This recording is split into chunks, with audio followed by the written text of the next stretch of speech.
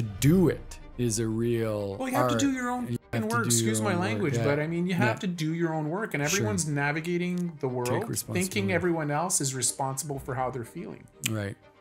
I have to be in control, and I have to self-regulate, and I have to do my own personal work to make Mm-hmm. sure I'm not putting my shit on you, and vice versa. Yeah. And in a collaboration context, or a strategic planning retreat, or in a work team context, it's the same thing.